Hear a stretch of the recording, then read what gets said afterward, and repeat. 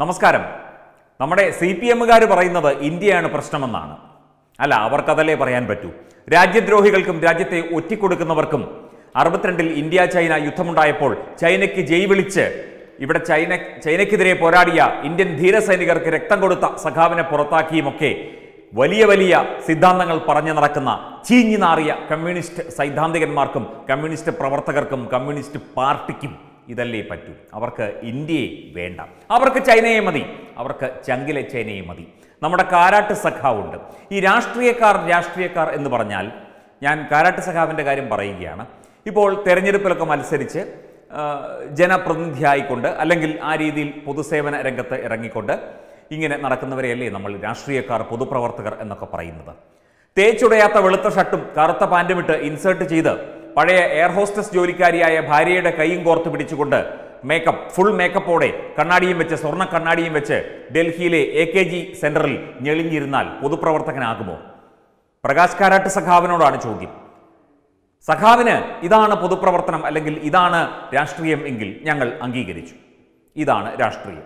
ഒരു പഞ്ചായത്ത് തെരഞ്ഞെടുപ്പിലെങ്കിലും താങ്കൾ മത്സരിച്ചിട്ടുണ്ടോ? എന്നിട്ട് വലിയ നയതന്ത്രവും രാജ്യതന്ത്രജ്ഞതയും ഒക്കെ പറയാൻ വന്നിരിക്കുന്നു. നാണം കെട്ട ജന്മങ്ങൾ. അതിർത്തിയിൽ ചൈനയുമായുള്ള സംഘർഷത്തിന് കാരണം ഇന്ത്യ സ്വീകരിക്കുന്ന നിലപാടുകളാണെന്ന് സി പി എം മുൻ ജനറൽ സെക്രട്ടറിയും പോളിറ്റ് ബ്യൂറോ അംഗവുമായ പ്രകാശ് കാരാട്ട്. നല്ല ആട്ടി കിട്ടാത്തതിന്റെ കുറവാണ് കാരാട്ട് സഖാവിന്. വേറൊന്നുമില്ല. ഇത്രയൊക്കെ ആയിട്ടും കമ്മ്യൂണിസം മരിച്ചും മണ്ണടിയാറായിട്ടും ഇവർക്കൊന്നും ഒന്നും തിരിച്ചറിയുന്നില്ലല്ലോ. റഷ്യയിലെ സ്ഥിതി അറിയാമല്ലോ.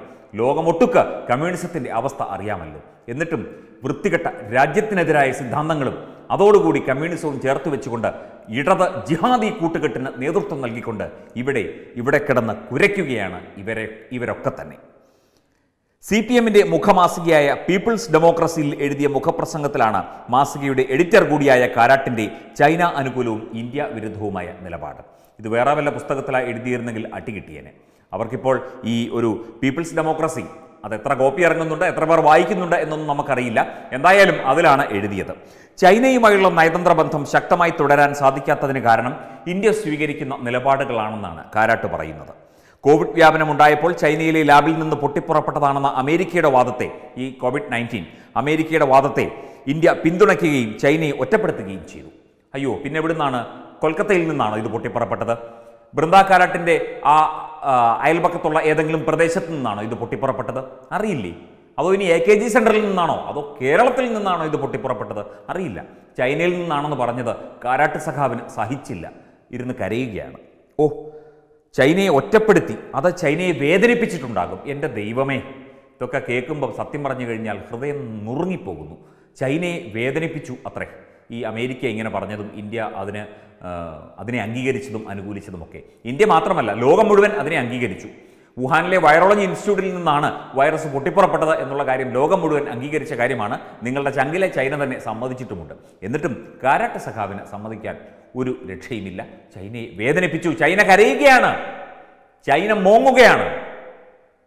കാരാട്ട് സത്യ- പറഞ്ഞു കഴിഞ്ഞാൽ നിങ്ങളെയൊക്കെ ഓർത്ത് നിങ്ങൾ ഇന്ത്യയിൽ ജനിച്ച ഒരു വ്യക്തി നിങ്ങൾ ഇന്ത്യക്കാരെന്ന് വിളിക്കാൻ നമുക്ക് ലജ്ജ തോന്നുന്നു. നിങ്ങളെയൊക്കെ ഓർത്ത് രാജ്യം ലജ്ജിക്കുന്നു. നിങ്ങൾ വലിയ പാർട്ടിയുടെ സി പി എമ്മിന്റെ ഒക്കെ വലിയ നേതാവല്ലേ? നിങ്ങൾ ഒന്നും ഒന്നുമല്ലെങ്കിലും നിങ്ങൾക്ക് ഇത്രയും പ്രായമായില്ലേ?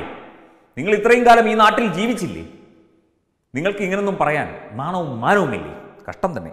പാകിസ്ഥാനുമായി മാത്രമല്ല ചൈന നേപ്പാൾ തുടങ്ങിയ അയൽ രാജ്യങ്ങളുമായൊക്കെ ഇന്ത്യ അതിർത്തി തർക്കത്തിലാണ്. അങ്ങോട്ട് ചെന്ന് എല്ലാം ശരിയാക്കണം. നിങ്ങളുടെ കോൺഗ്രസ് നിങ്ങൾ നിങ്ങളുടെ പ്രധാനപ്പെട്ട നേതാവ് അടിപ്പാവാട കഴുകുന്ന കോൺഗ്രസ്സുകാരായിരുന്നല്ലോ ഇത്രയും നാൾ ഭരിച്ചത്. പോയി ഒന്ന് കാര്യങ്ങളൊക്കെ സംസാരിച്ച് റെഡിയാക്കണം. അല്ലെങ്കിൽ ചൈന സ്വന്തമല്ലേ? പറഞ്ഞ് സെറ്റാക്കണം.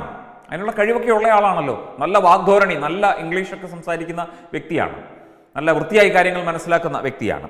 ചൈനയുമായുള്ള നയതന്ത്ര ബന്ധം ശക്തമായി തുടരാൻ സാധിക്കാത്തതിന് കാരണം ഇന്ത്യ സ്വീകരിച്ച നിലപാടുകളാണ്. അതുപോലെ തന്നെ ചൈനയുടെ ഭാഗമായ അക്സൈ ചിഹ്നം നമ്മുടേതാണെന്ന് ആഭ്യന്തരമന്ത്രി അമിത്ഷാ പ്രഖ്യാപിച്ചു. ഓ വലിയ തെറ്റായിപ്പോയി. വേണമെങ്കിൽ അതും അതിലപ്പുറവും പ്രഖ്യാപിക്കും പിടിച്ചെടുക്കും. അതറിയില്ലേ കാരാട്ട് സഖാവിന്? കൂടാതെ പാക് അധീന കശ്മീരിൽ സൈനിക നടപടി ആവശ്യമെങ്കിൽ സ്വീകരിക്കുമെന്ന് കേന്ദ്ര വിദേശകാര്യമന്ത്രി പറയുകയും ചെയ്തു. ഇതൊക്കെയാണ് ഇന്ത്യയുടെ കുറ്റപ്പെടുത്തലുകൾ. ചൈന തെമ്മാടിത്തരം കാണിക്കുമ്പോൾ തിരിച്ച് പ്രതികരിക്കുകയും പ്രസ്താവന നടത്തുകയും അതിന് ശക്തമായ മറുപടി കൊടുക്കുകയും ഒക്കെ ചെയ്യുന്നത് ഇവിടെ ഇരുന്ന് കാരാട്ടിന് സഹിക്കുന്നില്ല. ചൈന ചൈനയെ വേദനിപ്പിച്ചു എന്നൊക്കെയാണ് പറയുന്നത്. നിങ്ങളെയൊന്നും നിങ്ങൾ സത്യം പറഞ്ഞു കഴിഞ്ഞാൽ നിങ്ങളെയൊന്നും രാഷ്ട്രീയ നേതാവ് പോയിട്ട് ഒരു മനുഷ്യനായി പോലും സമൂഹം കാണാൻ ആഗ്രഹിക്കുന്നില്ല. കാരണം സ്വന്തം രാജ്യത്തിരുന്നു കൊണ്ട് സ്വന്തം പെറ്റമ്മയും പോറ്റമ്മയും ഒറ്റുകൊടുക്കുന്ന സിദ്ധാന്തമാണ് നിങ്ങൾക്കുള്ളത്. ഒറ്റുകൊടുക്കുന്ന സംസ്കാരമാണ് ഈ വൃത്തികെട്ട കമ്മ്യൂണിസ്റ്റുകാർക്കുള്ളത്. അതുതന്നെയാണ് പ്രകാശ് കാരാട്ട് പറഞ്ഞു നടക്കുന്നതും. ഇതൊന്നും ആരും കാര്യമാക്കില്ല. നിങ്ങളെയൊക്കെ ആര് വിലവെക്കുന്നു സഖാവി? വെബ് ഡെസ്ക് പത്തുമൈ ന്യൂസ്